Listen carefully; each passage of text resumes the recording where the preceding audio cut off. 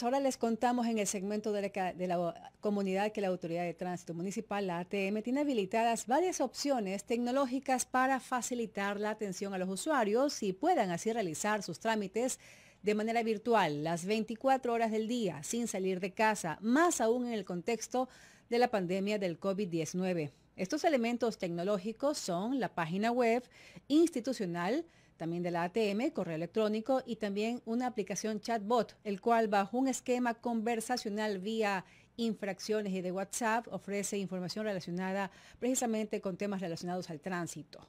Estado de impugnaciones, consulta de citaciones, convenios de pago, entre otros.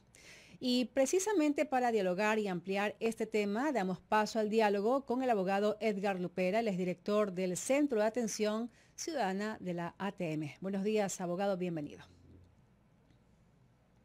Abogado, nada más solicitarle que encienda su cámara para dar inicio con la entrevista en el segmento de la comunidad. Abogado Lupera, buenos días.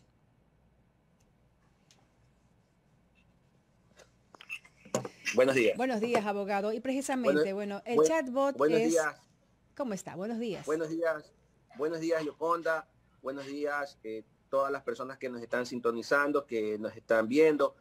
Eh, muchas gracias por la invitación para informar.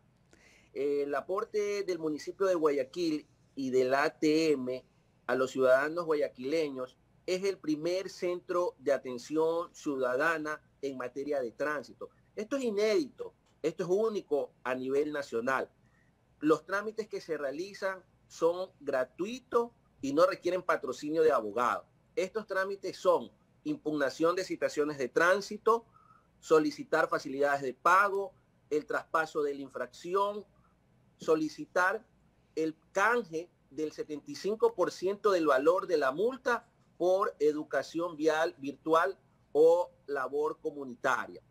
Así también la ATM ha desarrollado despliegues tecnológicos en beneficio de la ciudadanía, para que la ciudadanía pueda realizar sus trámites desde el lugar en donde se encuentren, desde la, utilizando la computadora, utilizando el celular, de una manera muy fácil, muy ágil, muy sencilla, ingresando a la página web de la entidad www.atm.gov.es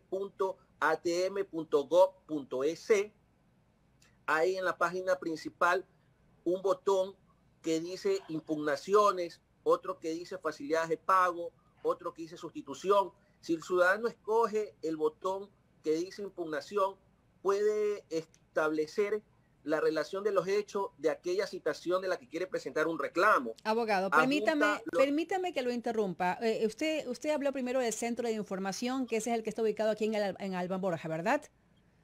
Sí. Perfecto. eso, eso es muy independiente al chatbot. hablando de la atención presencial. Eh, permítame interrumpirlo nuevamente. Eh, de hecho, ustedes están eh, promoviendo a la ciudadanía de un chatbot primero porque muchas personas lastimosamente no están vinculadas o relacionadas con la tecnología. ¿Qué es el chatbot y de qué forma será aplicado dentro de la gestión de la ATM para la comunidad guayaquileña?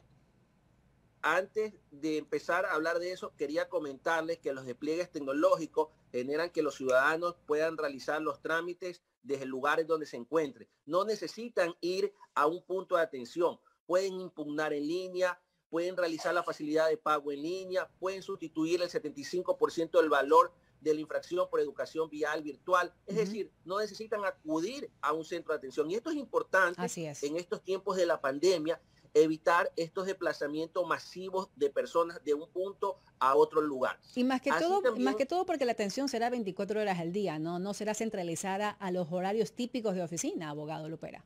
Sí, si bien, si bien es cierto, los puntos de atención funcionan de 9 a 5 de la tarde, también es verdad que estos despliegues tecnológicos son 24/7. En el lugar, a través de la herramienta tecnológica que escoge el ciudadano, podrá presentar sus trámites. Y también inclusive si tiene alguna deuda la puede pagar a través del botón de pago. No es necesario acercarse al ATM, no es necesario acercarse a un punto de atención, lo puede hacer tranquilamente a través del botón de pago. El chatbot es una herramienta tecnológica eficiente, segura, de comunicación directa de la ATM con el ciudadano. El ciudadano puede hacer sus principales consultas, sus principales requerimientos respecto de trámites que haya ingresado de citaciones, trámites que haya ingresado de convenios de pago, de retiro de vehículos, eh, de una forma muy sencilla, muy ágil, ingresando a la página web de la entidad. Y también lo puede utilizar a través del chatbot WhatsApp, cuyo número es 099 444 1024. El ciudadano ingresa una consulta, eh, requiero saber si tengo alguna citación pendiente. Eh, a través del chat se le contesta si tiene citación pendiente y si el ciudadano requiere realizar un trámite, de inmediato se contacta con el ciudadano un operador. En dos meses aproximadamente que este chatbot está eh, puesto a disposición de la ciudadanía, hemos recibido 7 mil consultas y esto es positivo. esto es, positivo porque eh, nos vamos al lugar de que los ciudadanos lo están utilizando estas herramientas tecnológicas y se está evitando el, traslado masivo de las personas de un lugar a otro tan importante en temas de pandemia. Permítame consultarle, a través de, este chatbot, ¿nosotros podemos agendar una cita para la revisión vehicular anual? Está ligado el chatbot exclusivamente a temas de generación de infracciones que son multas y retiro de vehículos todo lo que tenga que ver con SGS, el chatbot lo eh, que lleva al número telefónico respectivo para que a través de esa forma puedan realizar el trámite. Ahora, hay que aclarar que los principales trámites de ATM, los más utilizados, todos están en la página web. Si el ciudadano requiere realizar el trámite de matriculación, revisión técnica vehicular, traspaso de dominio, es una forma muy sencilla. Ingresa a la página de la entidad, escoge la opción turno RTV, escoge el trámite que va a realizar, eh, genera la solicitud de pago, a través del botón de pago genera el pago del valor de trámite, automáticamente procede a señalar día y hora para hacer eh, la revisión técnica vehicular. De una manera muy fácil, muy sencilla, no le toma al ciudadano más de tres minutos y con eso concurre el día y hora señalada para realizar el trámite. Si yo quiero impugnar en este caso una citación eh, que no fue notificada vía correo electrónico, ¿la puedo hacer entonces a través de un chatbot? Sí, claro. Si eh, es el caso de que tiene una citación, no es necesario que concurra a un centro de atención presencial. Eh, ingresando a la página web, escoge el botón impugnación automáticamente le sale las multas de las que puede impugnar, de las que tenga en ese momento en estado pendiente, escoge el botón impugnar, automáticamente le da la opción para establecer la relación de los hechos. En la relación de los hechos establece, no estoy conforme con la citación porque eh, me pusieron por mal estacionamiento y no había la señalización respectiva, o en el caso de Metrovía, la gente me dio paso, o cualquier otra observación que crea conveniente el ciudadano. O iba en exceso de velocidad y resulta que me encontraba en una emergencia por el tema del COVID, la pandemia, y de tener algún documento de soporte, el sistema le da la opción fácil de cargar ese documento y posteriormente le da un clic y con eso ya se genera el reclamo, que va directamente a un sistema, a un software, mediante la cual le llega ese reclamo a los analistas jurídicos para proceder con el estudio legal del mismo y en un tiempo máximo de 30 días se resuelve esa impugnación. Abogado Lopera, las diferentes, los diferentes mails en que uno quiere pues agilitar diferentes eh, trámites en la ATM, lo que respecta, por ejemplo, eh, multas, el tema eh, de, todos los centros de información de ustedes, ¿no? que están ubicados, por ejemplo, en el sur de Guayaquil, en el sector de las iguanas, en Fertiza, ¿eso está habilitado a través de la página web de la ATM? Está habilitado para la opción de coger turno para poder recibir atención presencial. Y esto es importante porque los ciudadanos escogiendo el turno, supongamos, escogen el turno a las 10 de la mañana.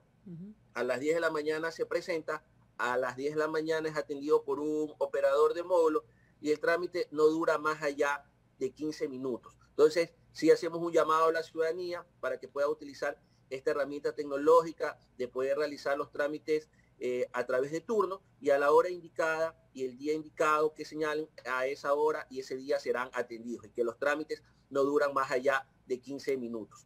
Ahora, tenemos distintos puntos de atención de manera presencial porque el ATM se acerca al ciudadano. El más conocido es el centro comercial Alban Borja, ingreso puerta 1, local 56, cuyo horario de atención es de 9 a 5 de la tarde.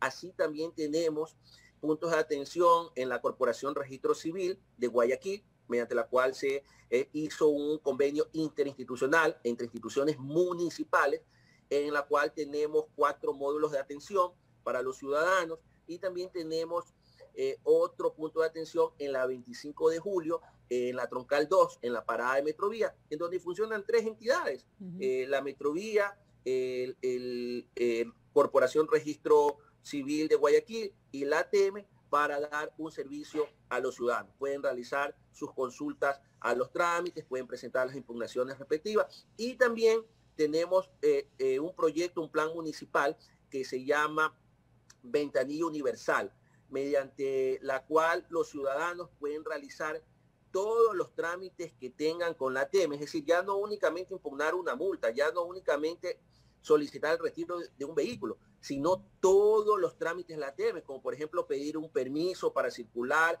como por ejemplo pedir eh, un, permiso eh, a planificación de tránsito para realizar algún trámite, etcétera, a control de tránsito por el cierre de alguna vía, alguna denuncia por falta de semáforo, o cualquier otro trámite que el ciudadano requiera ingresar al ATM, lo puede hacer a través de ventanillas universal. Abogado, quiero hacerle una, una, última consulta porque queremos conocer también sobre este nuevo proyecto Aeroarte para la ciudad y también de qué forma se va a contribuir a la ciudadanía.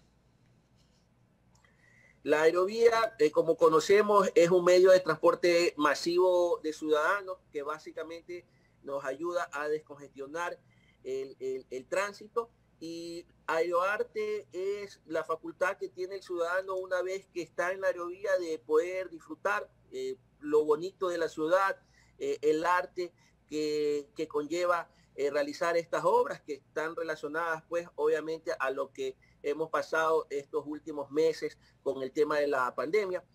invito a la ciudadanía eh, a utilizar este medio eh, masivo de transporte, obviamente utilizando siempre todas las medidas de bioseguridad, el distanciamiento respectivo, eh, la mascarilla, la desinfección en cada punto para los ciudadanos.